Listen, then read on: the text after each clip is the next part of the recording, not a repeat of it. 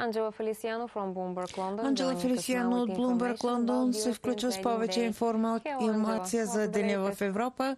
Здравейте, Анджела. Какви са новините? Здравейте от Лондон.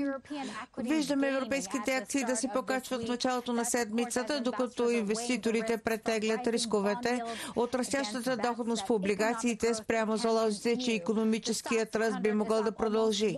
Сток 600 добави почти 1% воден от банките и застрахователите, докато акциите в енергетиката се представят слабо при спада на петрола. Германският DAX и френският CAC 40 се повишават с почти 2%. Евро... е, Европа прекъсна двуседмичната серия на повишаване миналата седмица, докато инвеститорите се тревожат от забавянето в растежа на фона на растящата доходност на облигациите и войната в Украина.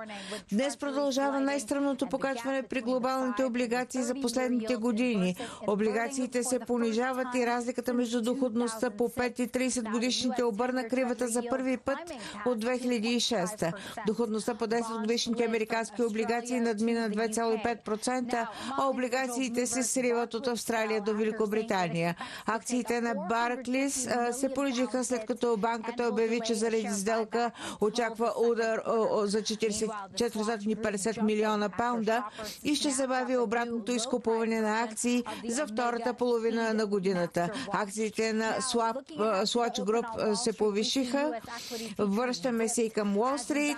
Там, облигации, там а, акциите се понижават, докато инвеститорите следят войната на Русия срещу Украина. Договорите по S&P 500 са надолу с 0,3%, а в NASDAQ 100 с 0,2%. Енергийните акции се понижават заедно с петрола, докато тежкото възобновяване на епидемията в Китай буди притеснение относно търсенето от страна на най-големия световен вносител.